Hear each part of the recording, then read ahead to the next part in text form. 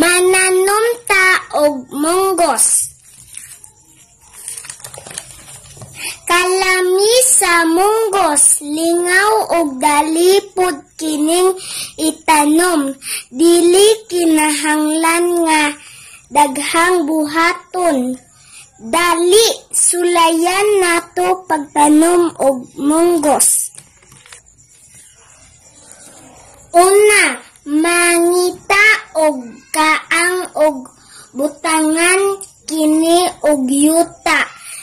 Depende kung unsa ka daghana imong itanom mahimong mogamit ka og gamay o dako nga kaang.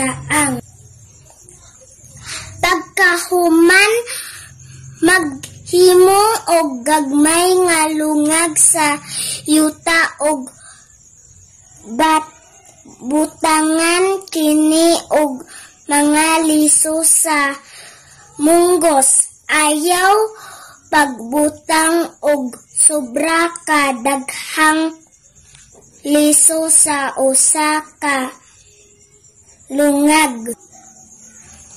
Tabunan ang mga lungag og yuta ibu ibulad ibat ibutang ang kaang sa usa ka lugar nga mabulad sa init sa adlaw. Para motubo ang munggos nagkinahanglan kini og adlaw. Bisbisan ang tanom sakto ang sakto na ang kausa sa usa ka adlaw. Importante ang tubig sa pagtubo sa tanom nga munggos pagkahuman matikdan ang pagtubo sa inyong inyong tanom sa sa pipila ka adlaw ug simana mudako ang inyong munggos gikan sa pagkaliso hangtod mamahimong munggos. Pupua ang munggos pirmiha ang pagpupo kon permi kining pupuan mas daghang mo munggos nga mo tubo.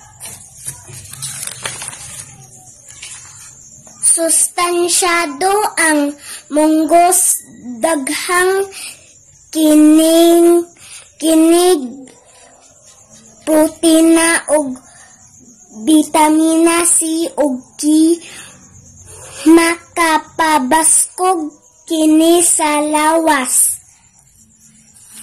Mahimong kaunon ang munggos kuyog ang ubang pagkaon mahimong lutoon kini uban sa utanon pasayan karne ug kanon ang ginisang munggos kay paborito sa sa kadaghanan 一个五。